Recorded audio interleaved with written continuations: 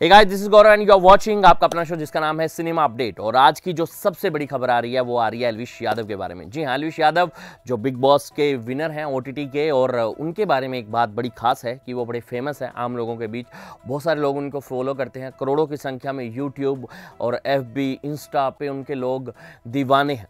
लेकिन उनके लिए अभी एक मुसीबत भरी खबर आई है। जी हाँ आपको बता दें कि एलविश का नाम जो है वो स्नेक ड्रग के मामले में आ चुका है।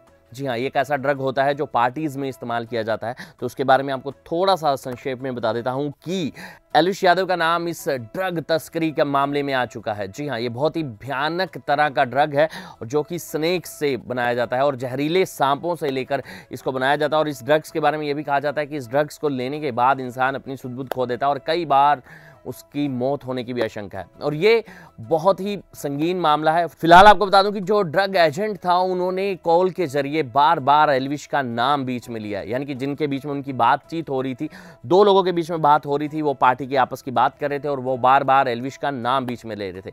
हालाँकि एलविश ने इन सबको सिरे से निकाल दिया है और इस बीच एलविश कहीं पर शूट कर रहे थे और वहाँ से निकले हैं और रास्ते में उन्हें एक बार पुलिस ने पकड़ भी लिया और फिर उन्हें छोड़ दिया गया। अभी देखना ये होगा कि एलविश का नाम इस केस में कहाँ तक आता है और वो क्या सच में इसमें मुजरिम साबित होते हैं या फिर ये एक अफवाह होगी।